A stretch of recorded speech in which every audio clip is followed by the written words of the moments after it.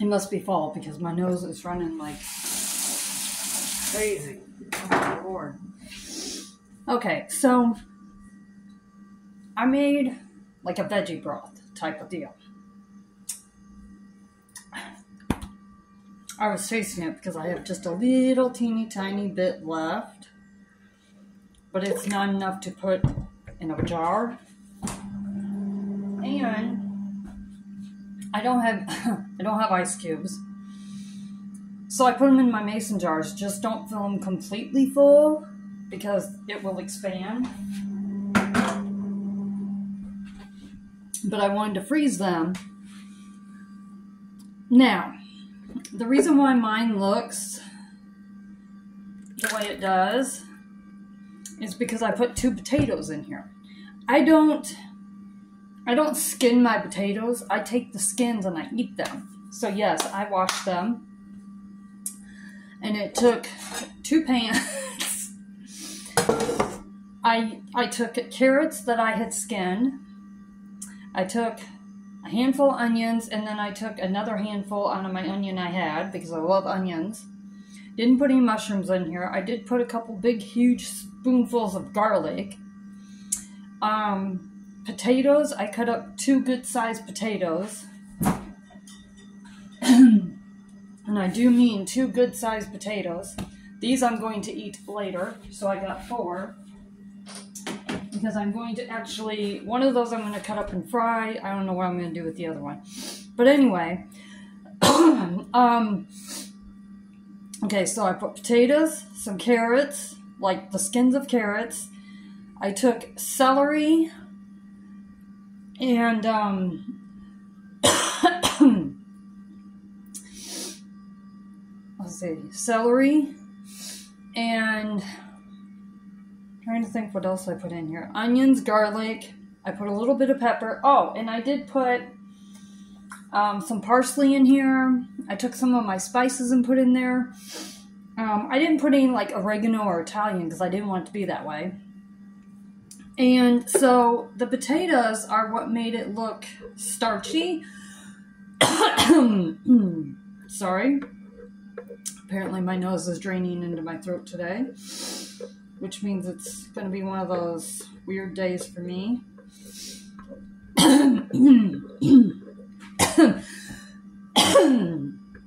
I just drank something and yet my throat feels like it's dry.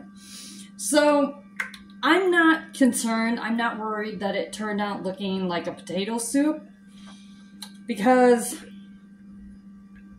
I can put mushrooms in here and make it a mushroom soup. Oh, and I also put a block of silken tofu in here for the re simple reason that over the winter, I'm sure that I'm not the only one, and I figured this out back in my 20s when we I was friends with some people who they would tell us that over the winter, they're like, we just didn't feel like cooking. Like, yeah, it would have heated up the kitchen, would have heated up the house. However, it was one of those, I just didn't feel like cooking today, so we made soup. Like, there are six of us, and each one of us wanted a different soup, so I made six different soups.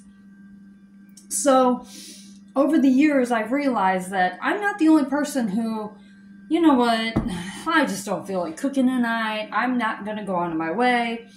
And I was like, okay, so you put tofu in here. Sorry. and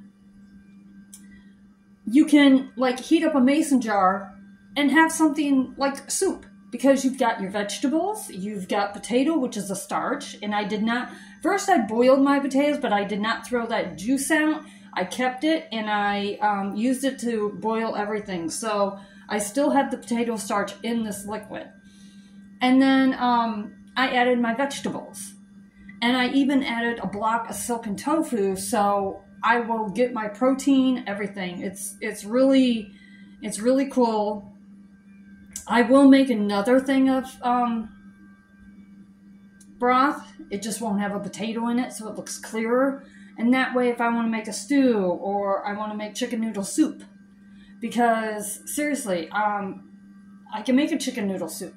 Um, I, I might make chicken soup and not the noodles because I have yet to find a noodle that doesn't have eggs, or milk in it, which I'm like, and I don't have a pasta maker to make soup, so, or to make noodles, so um, I'm going to finish this off and drink it or eat it or whatever you want to call it.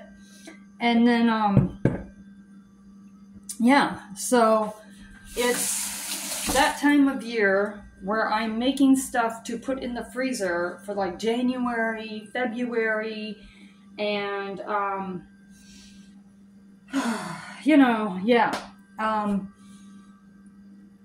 it apparently is going to cool off because yesterday they were put the weather people were posting about how there was a cold front coming through and it's going to drop temperatures and it's going to be chilly. I'm like, oh, I'm not a fan of cold. However, I'm like, okay, I got to get going on making stuff that I can freeze that will come in handy in like January when it's 40 below and it's like I you know even though it heat up the apartment nicely I'm just going to heat me up some broth and drink that and you know so add a box add a um package of silken tofu matter of fact I laid this one out to go into my vegan milk because I was like, you know, even though I'm getting the protein from the nuts, I'm like, I'm going to add that to my my vegan milk and see if that doesn't make a difference too. So, okay, it's Saturday morning about 9:30. Have a wonderful day, and I'll be back another time.